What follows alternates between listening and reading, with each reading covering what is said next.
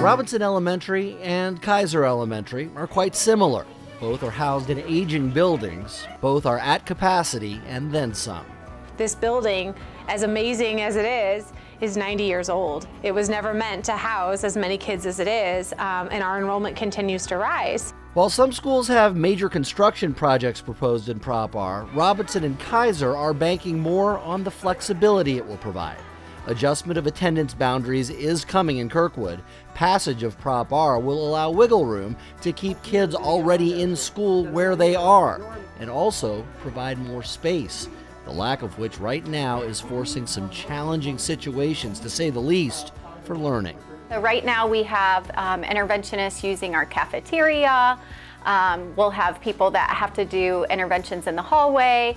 Um, a storage closet's been converted. And so when we have less student capacity, it will open up some of those larger learning spaces. At either school, you don't have to pass through too many hallways to find kids in breakout sessions, often interventions for those most in need of help which is really sad. Um, the, the, students who are needing the most uh, attention and instruction right now are needing to do it in the hallway. Oftentimes the students that I'm working with in reading intervention get distracted. Maybe it's their friends that are walking by and they want to say hi, or maybe it's older brothers or sisters that then they become embarrassed and, and then it just, it breaks down the learning because kids need to feel comfortable and safe when they're learning. If a student that I'm working with begins to hang their head and, and not give me the best effort that they have, then it really is sad and, and hard to watch. At both schools, Prop R will help alleviate much of this problem, and those won't be the only benefits. Security is about to improve district wide. Some of these cameras are, are, pretty dated, so what we need to do is move into the 21st century and make sure that uh, we're up to up to speed when we speak in terms of camera. Security cameras across Kirkwood right now make up only about a third of what most school systems our size have. Cameras are not an end all but they are definitely an, an asset when you're looking into uh, any vandalism or anything potentially that may have happened uh, on our campus. And with those cameras will come a major upgrade in lighting, both for the images and basic peace of mind. Fall and winter, um, there are many times I leave the building 7, 8 o'clock at night if we have any after school events.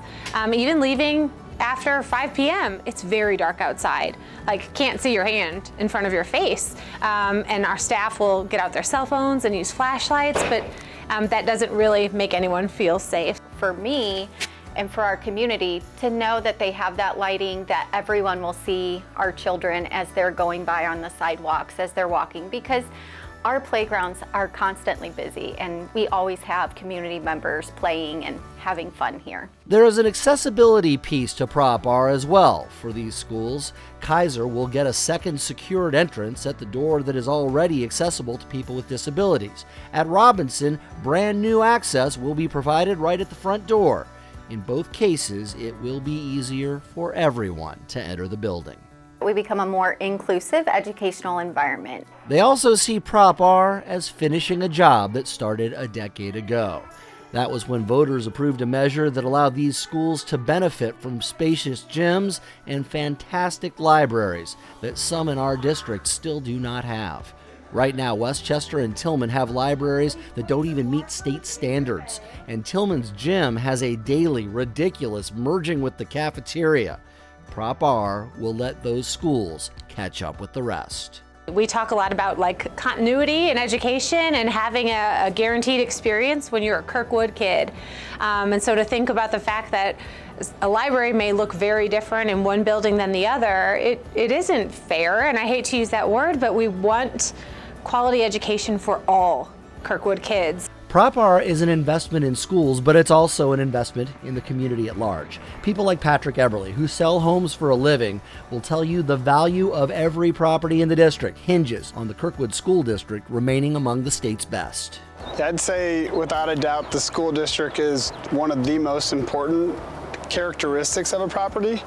Uh, I mean, I always tell my clients you can fix up your house. You can do the windows, the kitchen, you know, you can put sweat equity into a house. But what you cannot change is things like the school district and the location. And so it's very important that those things that you can't change are solid for your property value and for your resale. Higher property values, better safety, better education for kids, and a zero tax rate increase bond proposal. That, in a nutshell, is Prop R. Please vote on April 6th.